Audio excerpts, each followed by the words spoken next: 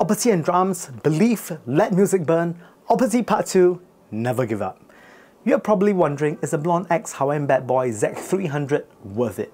I don't really know. You might love or hate my answer so much that you bash your computer screens. Just a few years ago, there was a curious little IEM that looked somewhat like the Beyerdynamic Xelento in terms of chassis shape. I mean, let's be honest, the Xelento was a very iconic design. Anyways, that earphone was the Blon BL03. And of course, we knew how that story went. The Blon BL03 took the bottom of the barrel world by storm despite having some of its quirks and annoyances. I still have flashback on how terrible the stock cable was. Now today we take a look at its alleged successor done in collaboration with the Hawaiian bad boy, the Blon ZX300.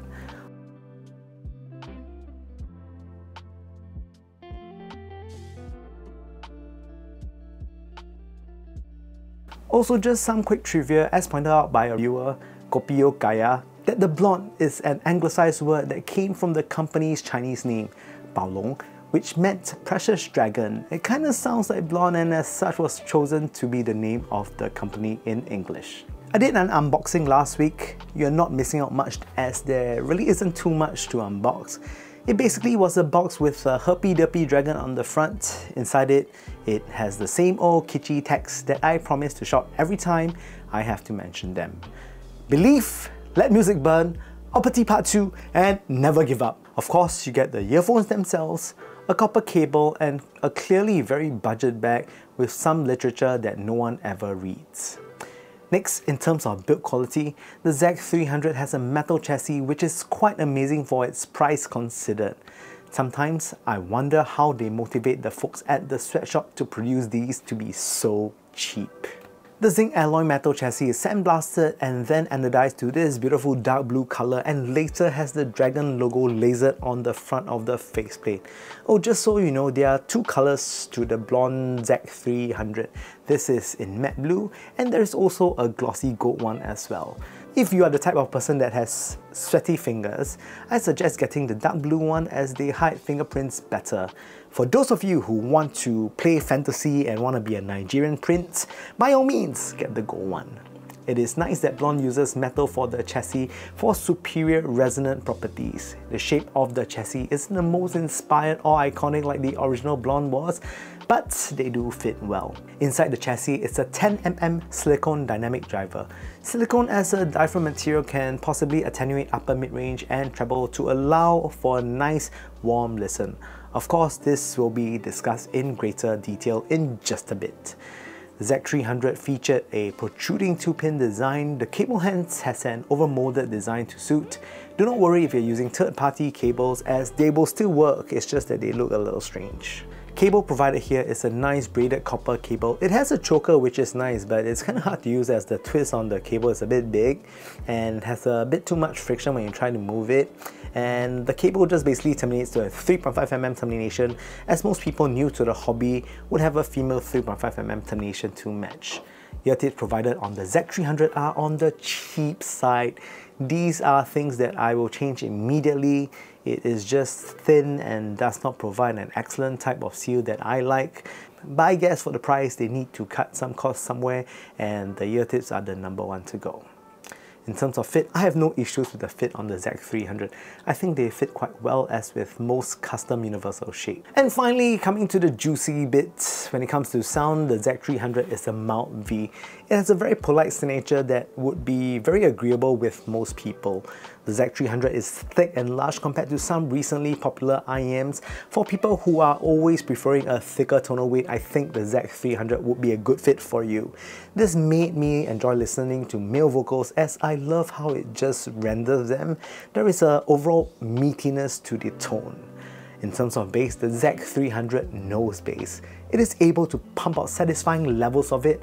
I will not say that these are bass head IEMs, but bass harmonics will influence more on the overall tonal color of the ZX300. Sub-bass extension here is above decent and can be felt if your music has them. It is also very delightful. It is able to give a very strong sense of presence, almost club-like. You know, the yeah, like that. Mid bass is no slouch either, but it tapers off a little bit from the sub bass. I like that it tapers off as it adds a bit more definition to the mid range. However, with that said, it still offers a good kick with impact when your song calls for it. I do wish for better clarity when it comes to bass though. You feel much of the bass presented on the ZX300, but it can be a little bit cleaner. Uh, however, I also know that these are really cheap so it's kind of forgivable. Mid-range here takes a lot from the lower harmonics of the strong bass present on the ZX300 as well. Male vocals have a great sense of presence as the supporting harmonics make them sound just so much more meatier. Texture and resolution here is also really good for the price class. A good point to consider is that if you're looking for a pair of cheap earphones that allows for a euphoric male vocal presentation, I think these are one to consider. Female vocals too also have a little more lower mid-range harmonics going on. They still sound dainty but with a bit more body, just less sprightly than usual. Clarity on the vocals is also pretty good despite the heavy-handed nature of bass, Instrument separation on the ZX300 is okay, I find them good enough, but of course, there are better performers when it comes to this. Treble extension is average, cymbals and crashes sizzle enough, they are not too in your face and harsh, it retreats quite quickly and never overstays its welcome. Treble is also very well balanced in relation to other frequency bands, but these are not the main focus of the ZX300. It is present enough giving edge to the overall sound rather than the ZX300 sounding too blunt. It allows for some air in the soundscape, albeit not super extensive. Now, we next talk about soundstage. When it comes to width and height, I must say that the ZX300 does a good job when it comes to vertical and horizontal soundstage. It sounds characteristically large. When it comes to depth and positioning, depth is good too from the control of bass frequencies.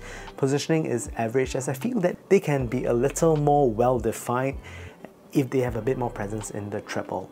And of course, the review wouldn't mean much if I do not have comparisons. So let me compare them with some of the more recent popular IEMs such as the Simgot EW100Ps. Now this is another release from Simgot that competes directly with the ZX300s. The EW100Ps are sonically quite different from the ZX300s. By comparison, the ZX300 is more meaty and bassier sounding than the Simgot. I like the Simgot for its more sprightly vocals and mid-range performance.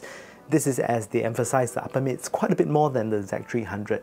Which is better really depends on you. The Blons have a thicker, meatier presentation, better for you if you enjoy bass, while the EW100P is lighter and more dainty, good for music that requires more finesse. But really, if you own the EW100Ps, the ZX300s will be a very good complementary IEM for you to use as it does things the EW100P isn't really great at. Now versus the Truthear Hola. The Hola isn't the most exciting to listen to, it does not extend too much on the treble end nor the bass end, resulting in a not so exciting listen. It is an extremely safe tuning that will suit almost anybody and anyone, but really a master of none. I found the Holas a little bit too rounded sounding as well.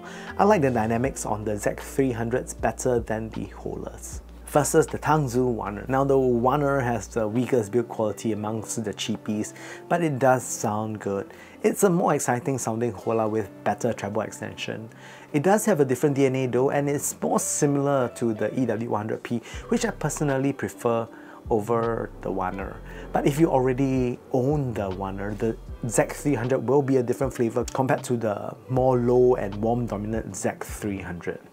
And finally, in conclusion, compared to its peers, the Blon ZX300 is a little warmer and more laid back, great for those of you who like music to be weightier and full. I think that these are great when you do not want to critically listen to music, but if you choose to critically listen, they can actually do a rather good job. But the important question is this, are the ZX300 better than the original Blon BL03? Will the successor beat the predecessor? I think there is still some magic when it comes to the Blon BL03. There is some magic to the mid-range that is just also alluring, but I do admit that I think the Z300 is a hair superior when it comes to technicalities, but technicalities isn't everything when it comes to sound. Maybe it's just rose tinted glasses. Who knows? Anyways, with that said, thanks for watching the SuperChonk Super Audio Show. If you like the content so far, please kindly press the like and subscribe button somewhere right here down below. It will really help me out a bunch and it will buy kibbles for my dog. With that said, I hope to see you guys soon.